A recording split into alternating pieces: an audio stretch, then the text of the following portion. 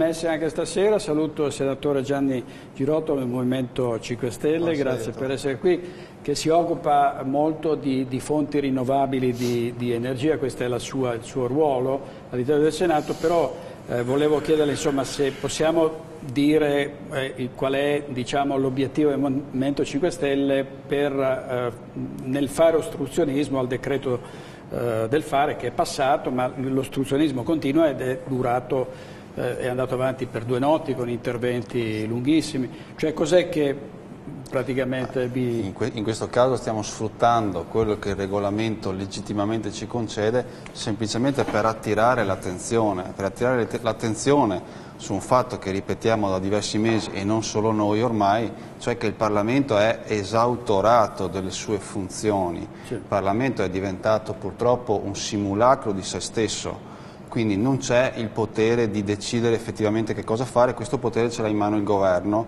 ce l'ha in mano soprattutto con lo strumento della fiducia perché quando le cose prendono una, una piega che il governo considera poco soddisfacente eh, mette questo spauracchio, mette questa spada di Damocle e i partiti in maniera molto ossequiosa eh, rispettano sempre la fiducia, quindi eh, noi stiamo solo protestando legittimamente e pacificatamente e portando l'attenzione su questo gravissimo problema perché ormai sono anni e anni che andiamo avanti con una Repubblica che non è più parlamentare ma è governativa.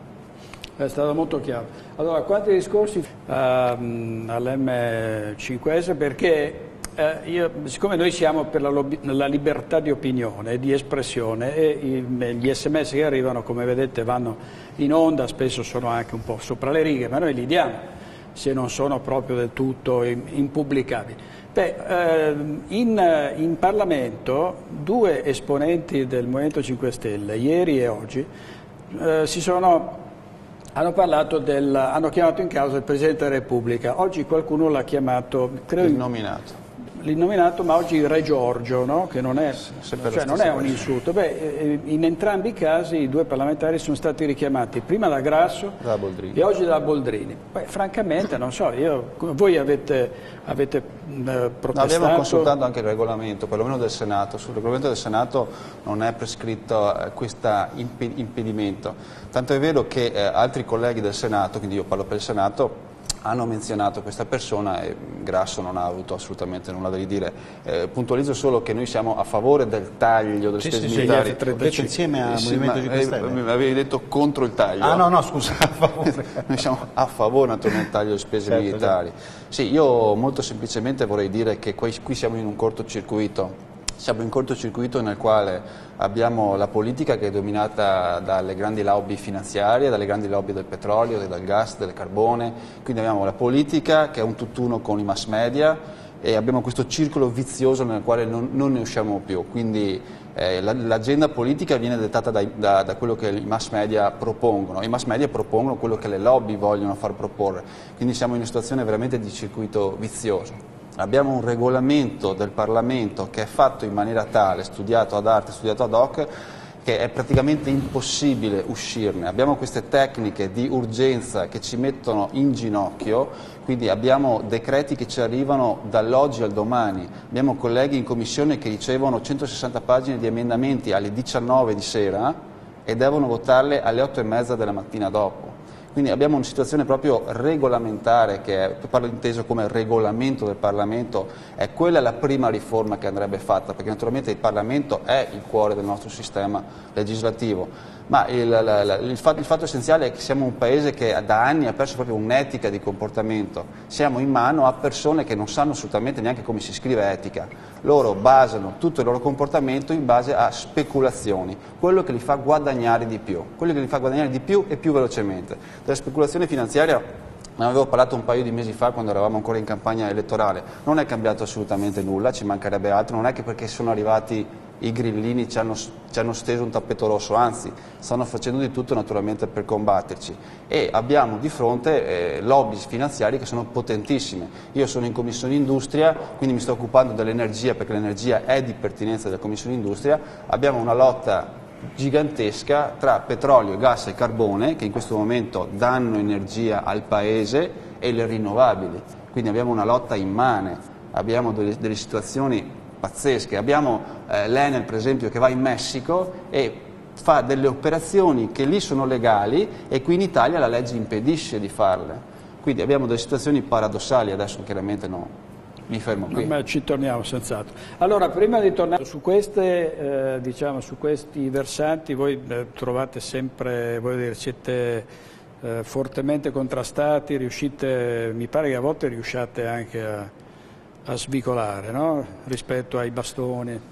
Ma eh, ci proviamo, comunque direttore, eh, io riprendo un attimo la domanda che mi ha fatto all'inizio del nostro eh, ostruzionismo, che l'abbiamo chiamato costruzionismo, la maratona che stiamo facendo in difesa della Costituzione, perché non avevo detto che in questo specifico caso ci stiamo battendo contro la riforma della Costituzione. Allora faccio, faccio un giro. Sì, esatto, spieghi un attimo. Eh, vogliono riformare un articolo della Costituzione molto importante sul cambiamento, sulle, sulle modalità sulle modalità di cambiamento della Costituzione. Allora il governo, la politica vuole dire agli italiani guardate che quanto ci stiamo dando da fare, stiamo cambiando la norma più importante perché ci teniamo a voi, quindi ci stiamo dando molto da fare, vogliamo cambiare la Costituzione. Ma il problema non sono le leggi, non è il cambiamento della Costituzione, il problema continuano a essere le persone. Il problema sono centinaia, migliaia di persone che sono corrotte, diciamolo chiaro e tondo, la corruzione, il conflitto di interessi persone che ricoprono ruoli che sono fortemente in conflitto di interessi con il bene pubblico.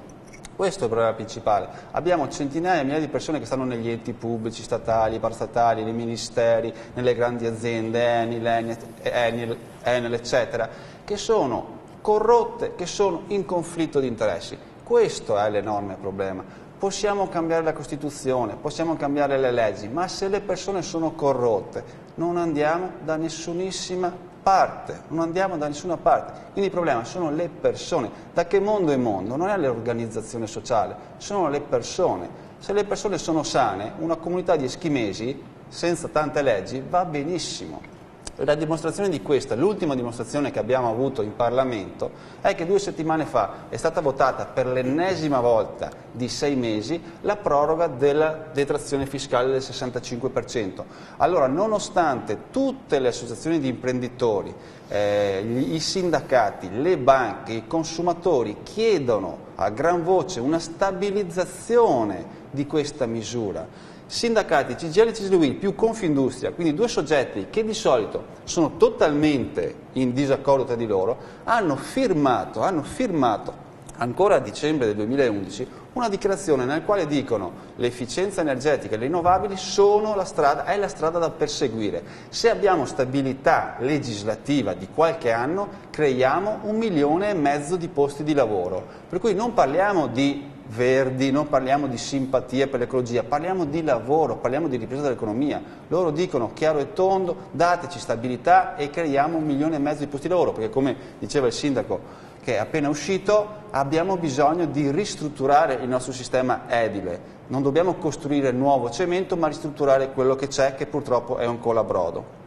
Allora ecco che abbiamo la dimostrazione che sono le persone a fare la differenza, perché il Parlamento, anziché recepire questo emendamento che noi avevamo inserito su suggerimento, ci eravamo arrivati anche noi, ma, ma tutte le associazioni di categoria hanno, hanno detto sì, andiamo avanti fino al 2020, il Parlamento ha detto no, andiamo fino a dicembre di quest'anno. Allora è dal 2007 che andiamo avanti a colpi, a botte, sempre temporanee, le industrie ci dicono ma noi non possiamo fare programmazione, i privati meno che meno possono fare programmazione, quindi ecco che il problema sono le persone. Perché hanno votato di no? Perché ci sono le lobby del petrolio, del gas e del carbone che vogliono che si continui a bruciare moltissimo petrolio, gas e carbone perché serve per fare elettricità e serve per far andare le automobili. Questa è la realtà, non è un problema di leggi, di Parlamento, di, Costitu scusate, di Costituzione, il problema sono le persone. Se le persone sono corrotte e hanno conflitti di interesse non si va da nessuna parte. Allora, a proposito di aziende rotto, No. Sì, una cosa che mh, agli italiani non viene detta, adesso stiamo affrontando la questione dell'ILVA in Parlamento, l'acciaieria E in buona sostanza il governo blinderà anche in questo caso eh, la votazione mettendo la fiducia. Quello che non viene spiegato è che la, il provvedimento principale che loro vogliono far passare è che in caso di fallimento dell'ILVA i primi crediti blindati che quindi verranno pagati sono quelli verso le banche, quindi deroghiamo completamente a quella che è la regola normale, quindi pagare prima i dipendenti e i fornitori e andiamo a pagare prima le banche, quindi l'ennesima dimostrazione che siamo governati da gente che è corrotta, sottomessa alle varie lobbies. Un esempio invece qui locale, locale la Valdastico, l'autostrada, la, che non ha ottenuto i permessi, quindi hanno organizzato di fare uno stralcio, quindi una, un percorso completamente diverso, anche in questo caso senza far nomi e cognomi è un regalo a Intesa San Paolo, è un regalo a Intesa San Paolo che vale circa 20 miliardi eh, di euro. Quindi due esempi precisi per dire che siamo governati da gente corrotta che ha conflitti di interesse, punto. Molto chiaro anche qui. Sì. Sì.